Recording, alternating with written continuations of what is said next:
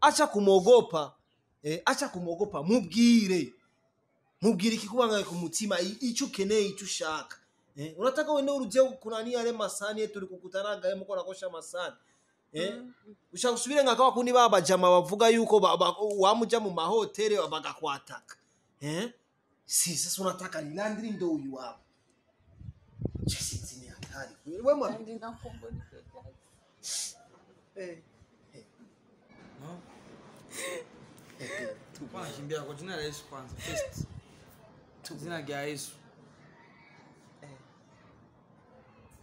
bayo nabira ndindi baze barabibonye ndakwingiza makati Please ndakusavye. Haguruka sisi haguruka mabuja. Kuwa mwiza nga bagura fukamira. Je, umuntu wo gufukamira ni Imana yonyine please. Ah ah, mwiza kwanza urana vitanguye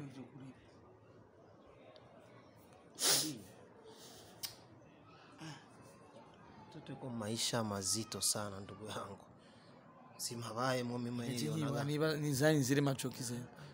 Muraza nga urazi biyana birara nga muri izi mwe mwenye. Si mnajijua mzee. Ah two muraza nga urara. Ndamuraza aha, weye. Mukobwa wali ndamuraza. Nikusaidie. Ngene ndiko ndabona umenga wewe we kandi azini wamunzani ndazi bazi mu ari wamunkwegera ibi. Ndamureze ngaha nawe uri ngaha. ntiturakorana n'umukobwa urumva rutwe vyo tugora. Uzakora mu bihungu umunani baza kupiga amamimba kesho badufunge. Cyangwa ugasanga akora no reka kurira please. Mviza vraiment jewe aho vyongora vraiment gufata decision. mbere reka kurira. Bazumva utanguye cyangwa bibaza ndamuzanya uyu. Tanguye ibintu nk'ibyo. Ah nibisanzwe none bisanzwe gute? Nuzu urabishinga aba babi. Nibagutera ah, inda ah, uzoca ndugu ujahe. yangu. ah ah ah, nibisanzwe nibagutera inda uzoca none ujana shambre ni nyinshi anataka pewa shambre yako shambre usitafungua hata mabusiku wanze kunyatanya tuweze kuleta matatizo. Ni- tuone mudeju demu iko na mimba. Nuneza abantu sha mabuja bali funga maso nawe dusenge ndugu na yangu blague zirimo sawa ndugu kirazira yangu gufinisha isangiye okay. Ko nta sengesho riba kwanza ritimbere iko nalia kwanza na mwanamke reka kurira kwanza siku. Mana yanje turashi- turakushize imbere y'inyunga zawe wakoze kwanza ko washoboye kutuzigama kuva mu gatondo gushika no mu masaha tukiri bazima. Mana ndakweretse akazi k'iminsi yose k'amaboko yacu gahezagire ugashiremwo aho bandanye turonse inguvu zo kubandanya dukora ibiri mu bugombe bwawe. Mana turakweretse n'umwigeme uramubona kandi uramusobanukiwe ibibazo afise urabizi. Eh, ndetse ijambo ry'imana riravuga ati naho ibyaha byanyu bitukura tukutuku zovyeza turasavye rero amaraso yase- yasesetse igorogota ashobore kuza uno mwigeme amugire umwera amugire umweranda. Hagire umwana mu bandi.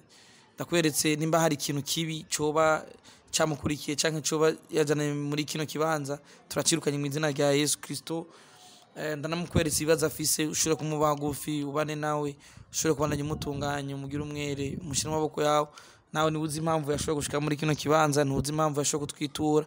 Ndetse turasavye tura- turi- tura- turasavye mana ushobore kuduha inguvu zo kubandanya eh, tuyaga nawe ndetse ushobora kuduha decision dushobora gufata nk'abantu bakuze. Tuje tukwizigiye ni mu izina ryawe mwami.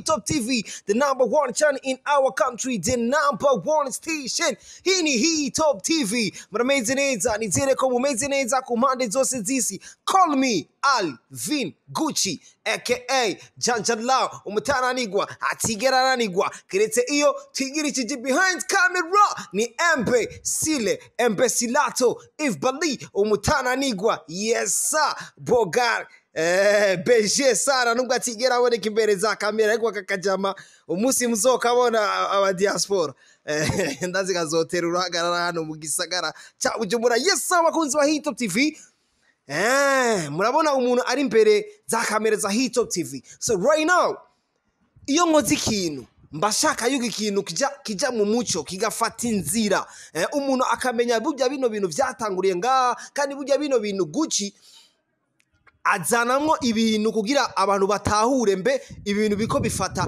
iyihe nzira. So right now murabibona ndi kumwe na brinella brinella briella.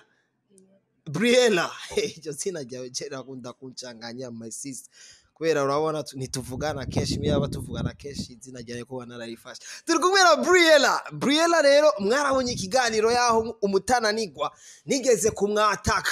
Ndamufata muri za systeme za arakora ibintu by'amasisiteme ugeza yaho aronka n'ubufasha bw'ujya mutipe maniga manigazo ugira amufashe ariko aravyanka. Sinari nzi systeme ziwe impamvu yanavyanse. Ariko so right now urazi ko yanadusavye yuko akeneye kuza gusaba akazi hano muri hitop tv ko yovugana na landi promota je, je nabonye yuko umengo ntavyo nta nguvu nyini ya je mfise kuri bino bintu. Niyo mpamvu navuze so kuya ingo wishikire mu bwami bwa hitop tv kugira wewe nyene ubonane na landi promota mutere story. So right now briella umeze gute my sister? Sorry ijwi ndazi yuko ushobora kuba unamaze n'iminsi petete utanafungura neza. Eh, ubu nubwo mbona umengo watagase gato nkeka ari kubera wari waje ngaha mu bwami bwa hitop tv niyo mpamvu nkeka waciye ushaka kuyudufreshere uko uvugana rero umutaraniga ugerageza gusohora akajwi. Sindoyivugira twumvikane. Aho vipi? Urameze rero neza. Mm. Mm. amagara ubu bimeze gute? Ni sawa narivujije arivuje kumbe wari urwaye masisana ubijya ujya mwanya wose. Nari ngwaye kweli yale maisha. Mbe uyu munsi vipi? Niho wakoze? Oya no munsi nari nabivuze ko nza kuza kubera ko genda mwakoreye hariya urumva baciye babimurashe ndabasaba uruhusha baranyemerera barambwira genda nta na kimwe. Nashe bakwemera kubwira ngo genda nta na kimwe. Sawa hamna shida. Twebwe ngaha twakira abantu neza mu bwami bwa hitop tv wiyumve nyene kuri mu muryango nyene w'abatananigwa umuryango umeze neza umuryango ukundana cyane. Ariko ikintu cya mbere nkeneye kumenya my sister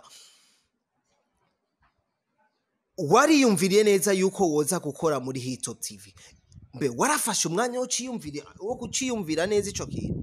Umwanya nturonka wo kwiyumvira ivyo jewe akazi kose akariko kose je ngakora niyo mpamvu uta mwanya no- ibintu byose ibizoba inyuma cyangwa ibizoba imbere byose je nzovyemera nta na kimwe gusa mbone yuko ndi ku kazi. Mm, ubone ko uri ku kazi. Twe turakora cyane turapambana cyane izuba ni iry'iwacu imvura ni iwacu ivumbi ni iwacu niyo mpamvu banatwise abatananigwa. Ubona yuko wewe biramutse uronsa ayo mahigwe eh? landi promota mukavugana akaguha iyo chance yo gukora muri hitop tv uzokora nk'abatananigwa Mm, nanjye nzovyiga reka byose ni bukebuke. Wararonse komantere zitandukanye. Wararonse komantere zitandukanye aho kuri kijya kiganiro twa twakoranye ndakwatatse hajya ahantu zijya komantere warazibonyeho ndabona kuko je nta telefone mfise. Mama yake na mama. Nipata komantere nyingi sana. Aho bamwe ba bagusabira neza bakagusengera neza ngo uyo mudada mfanye so okay. Nituma eh, tugerageze dukoreshe umwanya ku kima system landry ari ngaha ariko mungu wangu nje mbashaka ko ibintu bigenda neza. Mana uyu mukobwa ikibazo afise landi nze kuraba basi uko abigenza. Araye basi ariko ni hatari sana. Uri ready guhura na landi promoter je ndiredi nta na kimwe kweli. Sawa mnashida bakunzi ba hitop tv the number one channel in our country. Reka tufanye amasysteme ndabe ko landri nomuzana nkamuhuzana briella bakavugana amna shida. So behind camera imbesilato ndaje kaka. Landri. Ngo papa. Biko waye man. Akamenya ko na mgeni wako hapa ndugu yangu. Hii ngoba sasa ona mvizari mvizari bigani bitatu kuko vipindi bitatu inabidi bisaba ko dukora rero sinzi ko mwagiye kubikora kubera jewe mvuye ku iradiyo ibiganiro twabikoze we ngo basi ngo basi urabona gukora nta biganiro nshaka gukora kubera ingo basi. nacoka ndarusha sawa ndugu yangu. Please, Ah, nachoka Alan, sana. we wingo ingo Ah, hari ah, umvira nakubwira. hari umuntu Ni- agukeneye ni hari umuntu agukeneye je- hari umuntu ushaka iki? nawe basi. Hano ushaka kuguhuza nawe. Ngo shaka iki afise ubutumwa bwasi kuri wewe hari message aje kugushikiriza. Message kandi ndugu mukiganiro yangu wingo yeye subira sinifa none aufa yaje nguko nyene landri ewe njo Yani inguko mani- nyene safi nana kimwe ingo mani ijwi ryagiye sinasa ingo naco ndabi sawa sawa. Ulisema sana. sawa ingo basi. ingo basi umwumvirize basi n'iminota mike man, basi. njo njo landri ingo. Kuya kuya so bakunzi ba hitop tv the number one in our country. Wa mtu ni nani ingo wa karibu bro.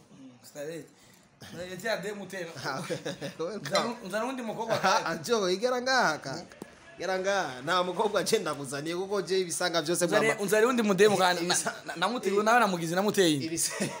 Nimupiga mimba amu nifani. ibisanga byose mimi napendaga kulizidisha Nilimkula kwa- franga. kila kitu mimi ndo naletaga mabisanga vingi Landry bimeze guteka Nimukura franga aho. ndabona unachoka sana Niko fresh. Nwana ijwi ryagiye. Ijwi ryagiye ndarusha ndarusha cyane tu. Unajua mpambanaji. Cyane, Tupambane cyane, ya. cyane. Briella je ndazi yuko Briella huyu kaka. Mm. None ramwakora ni kigani? ndo Briella huyu bisho Briera. Ah, urashobora kuba ufise amakuru yiwe. Eh, urashobora kuba ufise amakuru yiwe nyene. Eh, nta makuru yiwe usanzwe ufise ariko warabonye ikiganiro aho namwatatse ndamusanga ahantu ariko arakora. Ariko yarasohoye gusohora ijambo avuga yuko jewe guci ubuzima bwanje ntibumeze neza. Je guci ubuzima bwanje buko bugenda kwangirika bu- bu- bugenda kuba nabi. Ariko je ndashaka yuko basi mwonansabira akazi muri hitop tv nagira mubwiye muri hitop tv je nta bubasha bukomeye cyane bwo kuvuga ngo nshobora kuguha akazi. Ariko ndafise ukungene nshobora kuguhuza na randi promota eh? ugashobora kubonana nawe uk- ukivugirayo nyene ikiri mu mutima wawe. Niyo mpamvu today amekuja hapa amekuja hapa kugira nawe nyene asohore akari mu mutima kaka nta kindi kintu kimuzanye atakwambia sinzi biri mu mutima wiwe petete ntavyo nzi jewe. Okay we nta kibazo. Karibu. Mabuja ni sawa? Good meze neza. Urakomeye nitwara ndi promoter uh, ndi umwe mu mu ba- mu bamenyesha makuru ya. Yego ni sawa na nanjye ndashima imana tu ndashima imana buhoro buhoro. Kurya amana kuvyuka ubugombe bwayo ya tu tu ya meze fresh tu ndashima imana karibu. Hmm? ayuko fresh yo mwanamke. Wewe unaona utafikiri? So unaona hali yake? Mimi afise iki kibazo mbwira ni brira wa. Njo Wahe. pe- ah, reka gusigurire basi. Acha Eh, mbwira eh, mbwira isi. Usi usi una top tv ni wabo abantu Ntugire ubwoba. ibibazo byose ukora. N'aba- n'abatwagiriza amada abatwagiriza amahera turabakira mbwira ikibazo ufise. Nakugize iki? Bien, bien ntugire ubwoba. We irekure nyene. eh wirekure uvuge ikibazo cyawe. umwidondore ko urinde Mbwira naso. bitwa amayi. Mm, nitwa Briella eh nawe mba mu buterere gusa muhira baranyirukanye Mm, hama na yo nashaka na yo nashatse kuza gusaba akazi ngaha. Sinzi ko bikunda komoka eh nta kindi kibazo muri top tv wahora ukorera he? Numwe nabona bakoze ibiganiro na ba- na- na waka. Na waka vya- Umuda- umudada yarigeze gutendeka ku bintu bivuga yuko ngo ngo yarigeze ngo ku- ku- ngo Kuroga. Umurozi umwanya. kaka ibyo bimisi bijuwe none kama bijya ni bintu nivyo byarabaye gusa ubu byaraheze. Mm, baransengeye birahera biravamo kandi wasanze ukoresha wigeze ubikoresha canke bimeze gute? Eh, non, ba- si- sinumva ukuntu bivuga muri aka kanya kuko byabaye ibintu birebire. Mm, yeah. Eh, bon. Urumva umuncamake anataka kazi. Kazi gani? alikuwa pete anataka kazi. Sasa mi sasa sijui hiyo ni kazi gani anataka mumbarize none mabuja ushaka akahe kazi? Kariko kose mwumpa ngana ugakora kameze. ndugu yangu. Yusu natangiye kugutete nawe ugira Fasi- umwengere kandi rya fasi kabiri penye pako landri fasi pe pako Alvin ya mugabo jewe je nanganga Yves Bali. jewe nanganga zimfata pile ni bare bare Ah, ah. je miye umutara sasa sindo sasa akubwire na kae kazi jewe kwanza akeneye face nanganga kwanza jewe zimfata biga nabonye hari miye umutana nigwa jewe nyene. Eh, urabizi ko jewe nanje ntoroshe je nanganga zimfata uko nyene. Kandi je ndi n'umuntu asenga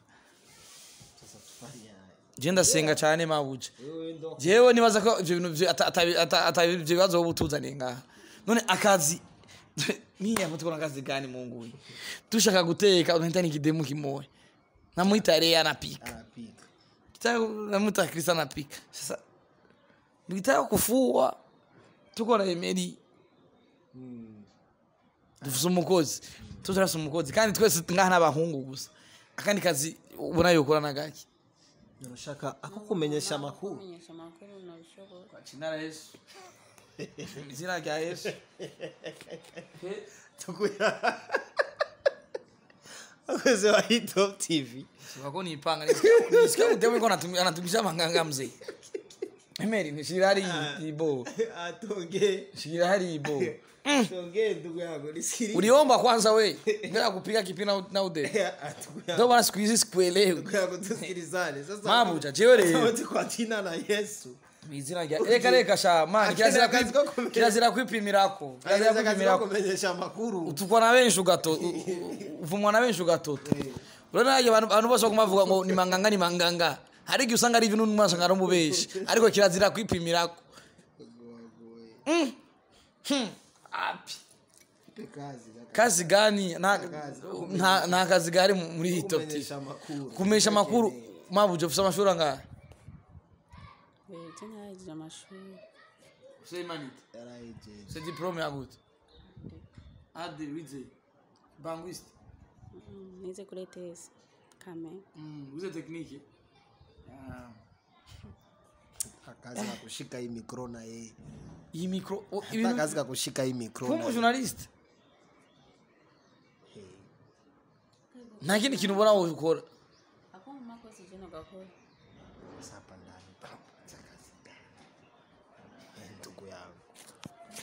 hari ibindi bintu usanga binagoye gutaha lakini waza waza bana bon ni jewe urazi ngaho ikintu ngaho nogufasha je ku bwanje vraiment je nta bintu bon sinokubesha ngo ngo. Ngo hari ibintu ari ibintu ngo hari akazi cyangwa ngo hari ibiki n'ibiki kubera urabona ibyo muri waka waka na, na hitop tv wandi dufitanye imigenderanire myiza kandi waka light n'aba na ni umuvyeyi wanje ni umuvyeyi wanje waka. Urumva sinogenda ngo ngo ah hari ikintu byo kurira ikintu byo kurira kubera kubera si- sinshaka kwitiranya na waka light. reka kurira. shaka kwitiranya na akesi akesi yarakamwima meza sijui reka kurira we. Acha kurira. Reka kurira. We acha kurira. ureka kurira. Akesi ajaenda urazi ikindi naco akesi na- na- akesi na- na- waka na- waka na na- hito waka na hito tv naho dufitanye imigenderanire myiza mu gihe jewe ntazi n'ikihe kintu cabaye ubwira huyu ni Landry wewe ongea. Kama vitawezekana vitawezekana. Kama vitawezekana a- araza kumenya oya ndiko ndasigura muri waka muri waka dufitanye imigenderanire myiza shobora gukora ikintu mu gihe na- ntabanje kuvugana na akesi urabona? ko unubanza kwanza kwiyumvira kubera iki akesi yamwimye akazi cyangwa kubera iki akesi yam- yanse kumwakira. Ko kiba atigeze bamwakira harya? Eh, kubera iki ho yaje ngaha? Eh ndugu yangu. Hmm? harajayo Ah. hadajaenda yani a- a- a- a- hajabiongewe Urazi rero. kazi muwaka hapa hakuna kazi vraiment ihangane kubera ko kubera ko mabuce twe ngaha twe urazi twe nta bakobwa dukoresha. Ni jewe Alvin Gucci Bali Emery umukozi wanje. Aha twe haba abahungu gusa. Umva twe ibintu byacu ni by'abahungu gusa kandi je kuva ntangura gukora sinigera nkorana n'umukobwa n'umuswari ntiturakorana n'umukobwa. Urumva rero twe byo tugora uza gukora mu bihungu umunani. Baza kupiga amamimba kesho badufunge.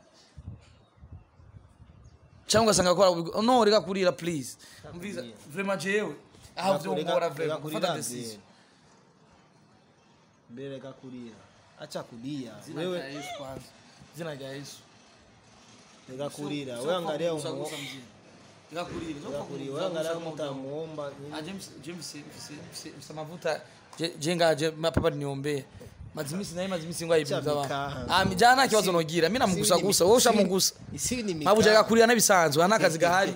Nishisha kwiteza ibibazo bisa- ibibazo n'abantu sivyo? Ndakwinginze vraiment kandi unyihanganire je vraiment ngana kazi nakazi mbona noguha basi mbwira ushaka akazi kugira ukora iki? Kugira u- usho- ushobore gukora iki mu buzima? Kugira ngo nk'amayera basimaga kwifashisha Suri ona kazi yenyewe anatumika. Anaishi- wapi? Abaye. sinzi mimi mwenyewe wakuona kipindi chetu nimfanyishaga yuko mukarestora yuko nakosha mavyombo. Na kulala zilikweti ni matrifaze akutwambiaga tagisi analala. Ahajama mpaka hivi hatujui chochote kide nikubera kani muri kijya kiganiro yavuze yuko bana umwana wageze sijui vya kwabo mimi sibijui ivyo bindi navyo nzi kaka. Waka nawe eh. sishakugira sishakwitiranya na waka reka ndakubwira je ikintu je nomufasha bisho guki ikintu je nomufasha je naco mfise je naco mfise sivyo? Kandi mvuze ngo ndamuha indaro sinomuraza ngaha urazi ibiyana birara ngaha? Muri izi mwe mwenyene simunajijuwa mzee? Aha twomuraza ngaha urara. Ndamuraza aha weye. Mukobwa wabandi ndamuraza? Ngene ndiko ndabona umenga wewe we kandi azi ni wamunzaniye ndazi bazi ko ari wamunkwegera ibi ndamureze ngaha nawe uri ngaha. Bari ba- ari ngaha. Peti yangu mtumishi wangu iko hapa.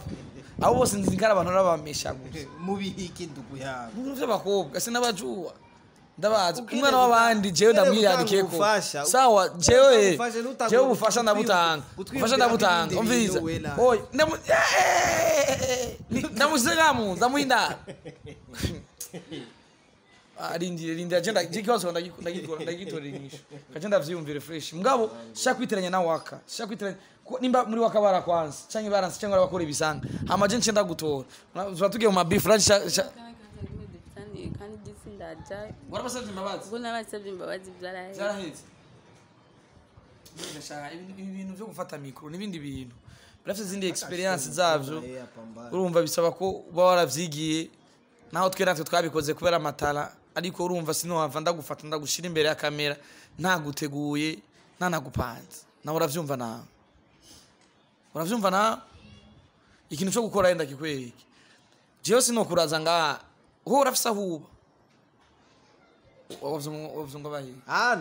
Je sinzi sinzi aharara kakumenga arara kimatrifaze nimero urame nimero z'abavyeyi. Kubera ko urabizi yuko Jesse nkunda gukora ibintu biri muri konti. Urame nimero z'abavyeyi ndabatelefone numve ko kuko ivyo bintu aje gutu ariko usanga ari n'umwescro uri tayari ho gutanga nimero z'abavyeyi? Ariko usanga ari umwescro akavuga ngo baramwibukanye kumbe unakutana kana igiza akaradukinira filme ejo canke igihe ejo ugasanga ura- uratoye umuntu ukazobona harabaye ibisanga. Sivyo?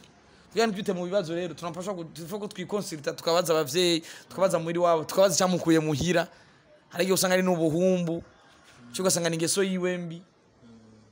Usanga nta muvyeyi amwirukanye ugasanga bako ashira mu bibazo abavyeyi sivyo birabasirandira petete ico icatumye bakwirukana muri icyatumye banyirukana muhira nuko hari ibintu by'ubirozirozi babonye nagiyemwo gusa nta kindi kintu nje na nabwiye ni ibintu birebire muri uwo mwanya na byo nashobora kuvuga. Sasa ndo yuko nabijisemea ndugu yangu munaniuliza haya nguyu akarabikubwira ufise ibibazo. Si ndo huyo hashaye kwambira ibintu vy'ibirozirozi vyatumye no muhira babifata ukundi kuntu baramwirukana. None ubu basi ujya musi warase kumbwira aho urara basi ifu unarara wapi? N'ubu uracyafise ibiroti umenga uteye ubwoba. Hawe suri se suri nambia uko na imana yo mafuta una imana yo mwijuru. Imana urazi ko imana ikunda mbega urazi ko imana ikunda abanyabyaha bro? Kandi je imana irankunda kandi imana nimba yashoboye kwiyumvira kuza ngaho ashobora kuba hari impamvu bro. Ari n'imana namutuzaniye ubwa tunamusengera Turamu- turamufasha no kumufasha mu gisata cy'amasengesho kuko imana iradukunda kandi imana irakunda abanyabyaha kandi imana irakunda abantu bitahura kandi imana irakunda abantu abo mwita ko batagororotse. Niyo imana yiyegereza. Uko biri kose niba bari mu bisanga si guca mumutererana ukumenga mumuca nk'igicibwa ukumenga umuntu atabaho ni umukobwa mwiza murabe umukobwa ameze neza.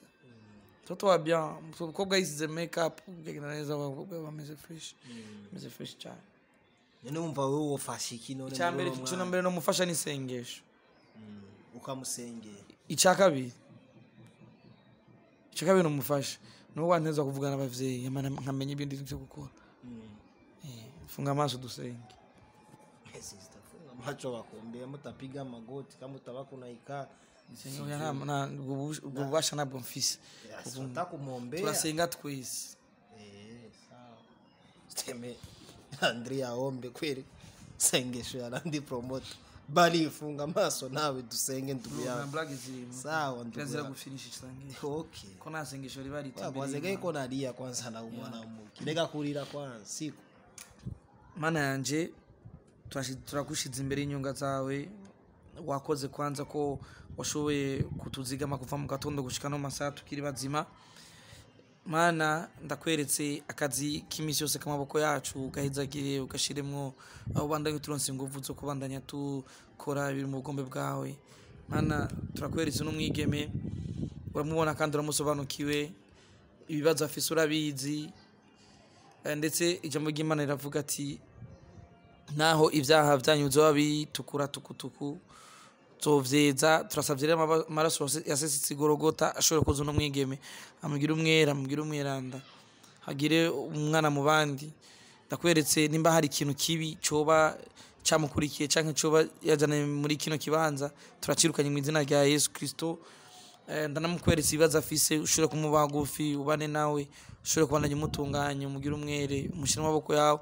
Nawe ni we uzi impamvu yashoboye gushika muri kino kibanza ntuzi impamvu yashoboye kutwitura.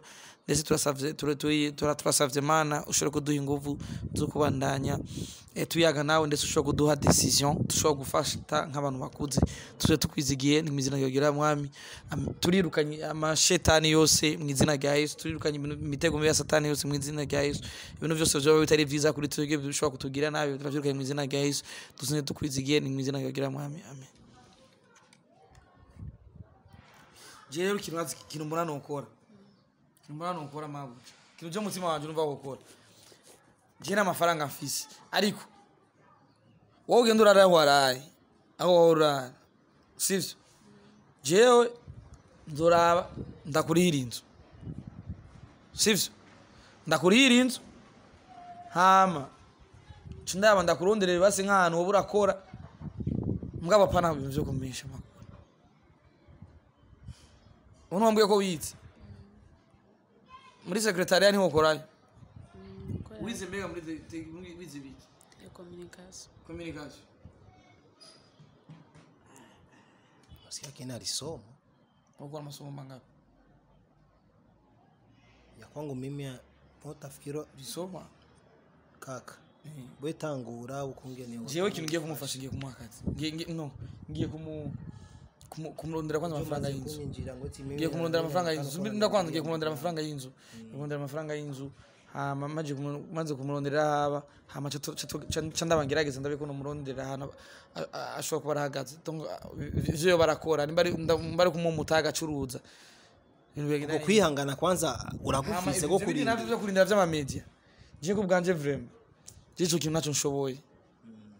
Ariko navyo ni umuforoma ni umwigisha. Ntiyizerera akazi nga muri hitop tv muri top tv ko kora kuri televiziyo ni ibintu mbaza kuyiga ni ibintu mbaza kwiga ni ibintu mbaza kuja n'abandi kuvugana n'abandi. Kuvugana na babari mva tukicara tukakiraba neza. Ariko je co nomufasha kuba numvise umenga nta ki- nta kibanza afise co kubamo Ndamu- ndamurondere aho ashobora kuba. Ndamuronderere na na n'ukungena ashobora eh? Kwibeshaho kwibeshaho. Muri make mfise mu mahera make mfise kandi amafaranga mfise nta n'udufaranga mfise urabizi maze iminsi mu byasho urabizi ko ceno yagize ikibazo dufise ceno nshasha urumva bisaba ko dukoresha inguvu urumva ntibisaba ko dushiramwo abakobwa cane. Niyo mpamvu du- dushiramwo tumara dukora cane kugira dushobore guhagarika ceno neza. Neza no bigenda neza nibaza neza ko namara no guforoma bikagenda neza. Akazi uzoba ukaronse ariko kano kanya nta nyishu nziza noguha kuri ivyo bintu vy'akazi ivyo bisaba ko nja mu manama n'aba bajama abagenzi banje tugatora Bre, mbere uvyakiriye gute Mm, arakoze Yeshuya cyane arakoze cyane bazi kubona nyemereye n'ibyo Mm, mani muheza agira mbe uzokwihangana kugeza ico gihe cyose avuze ngo azo- ngo azorinda ngo kubaza ababaza Yarabaje ngo azorinda ngo kukuronderera Ubuzima- kurondera muri ubuzima- kuri wowe ubuzima- wavyakiriye ubuzima bro nabyakiriye nta kundi. Mm? nabyakiriye uko nyene. Nzokwihangana nzurabanda usangaye none mucarama canke mucarama mucarama nzira zimvye ushiramo turaba nk'inzu ya makeya sivyo? Ukibana ca ndakurondera nk'umutahe ukabura ukaba ahantu uri burabura sivyo? Sivyo? Aho gukora neza vraiment ni fresh umwana mwiza vraiment so bakunzi ba hitop tv bya hitop tv hitop tv ni kampani. Turakoze ko hitop tv ari kampani ariko ugerageje kumuraba briela muri we muri we. Yaguma yiyumva akeneye nawe akazi ko kumenyesha amakuru. Nubwo atari arabigaragaraza cyane mushasikiye akeneye akazi naye ashikeho imikoro nk'uko nk'uko egera basi ngaha egera ngaha anatuogopa au. Ingo bicare ingo bicare ngaha bicare ngaha wina na kimwe je nzogufasha usa navyo gukunda na bimwe azove azove bantu bibaza ngo je ngo na- ngo- usijali mimi nitakusaidia. Ivyo vyo gukundana bivuye oya sina- sinabajua mwe. Umuneza abantu ngo nagize ibiki n'ibiki musore muneza ibindi bibazo kandi oya. Nzo- je nzogufasha rero yaje ngaho kubera ko impamvu zo gukundana yaje gusanga je nzogufasha don't worry. Uza nzogufasha ibyo nshoboye nawe uzomufasha iki mwembwa je namufashije mu mu kumuzana ngaha ahure na wewe agutura ikibazo ciwe agutura ikibazo aho ariko mayani kamenyo urako biryohe ubuzima n'umuzunguruko muhungu. Ah, ariko sababu Hamuna hamna kuogopa. chama mapenzi ndugu yangu. makofi pasta landipro ushatombea ndugu yangu. Asante sana. Ajya amasengesho sa yego kweli dada yangu. Ubonye usengewe n'uyu muntu Eh, kirashobora gucamo kweri cyangwa ugasanga abandi bantu barafashije kuko. Eh, ni landiri promote. Sasa my sister. Nakahe kajambo basi. Sinzomurihira inzu vrema sawa. Kandi muri iyi minsi nyene. Eh, sawa. sinamurondera n'umutayi bari samire andi akacuze nyanya hamna shida. Atafanya Ana- kazi mwanamke- mwanamke wa hivi. Gisi niko na eh? Bavyumva utanguye Ah, ah. ca wibaza ndamuzanya uyu utanguye ibintu nk'ivyo ngaha ntibisanzwe none? Bisanzwe gute ntuze urabishinga aba ni abana Ya, babi. oya Nibagutera ah, ah, inda ndugu uzoca yangu. ujahe. Ah, ah, aha ntibisanzwe nibagutera inda uzoca none shambure ni nyinshi anasa kapewa shambure yake shambure usitafungua hata mabusiku wanze kunyatanyata weza leta matatizo. Ni- tuone mudeje uri demu iko na mimba. Nuneza abantu mabuja je nzokurira nzokurondera inzu ya makeya mu kamenge sivyo Mm, ndakora Ah, iyo ushobora kuriha. Ko je kw'iradiyo membwa make televiziyo tv online. Nta mahera ariyo urabize hatari. Ariko je mu- muri make mfise je nzokurondera umutahe ndakurire n'inzu. Kandi ndazi ko inzu nzoyiriha amezi make. Muri abandi maze ndazi ko ari uzoyirira ko umaze guhagarara neza ndakurahiye wewe mu mezi abiri utakuko fresh. Mbwani ikibujije abashaka kumuha akazi ko bokamuha bamupe kazi. So bakunzi ba- hitop tv none mumwirengagiza uno mwigeme. Eh, ivyo mu- mufana vyonzi kandi sishaka kuvyinjiramo bakunzi ba hitop tv the number one channel in our country. Mwabonye yuko nagerageje gukora ivyo i- ibishoboka vyose gira briela ndamuhuze na landi promoter. Kugeza aho landi promoter we yashoboye na yo nyene kuvuga iri mu mutima wiwe. Eh, ivyo yashoboye kwemera ko azokora ku ruhande rwiwe azobikora nka landi promoter. Urumva kandi mu gutanga ubufasha. Ariko umudada ngo ntiyizere cyane yuko ntiyizere yuko muri hitop tv ngo yoza gukora muri hitop tv afate mikoro za hitop tv ngo ngo ngo journaliste ngo ivyo bintu biracagoye cyane. Tuvyiga. asante sana kandi sini bon merci beaucoup.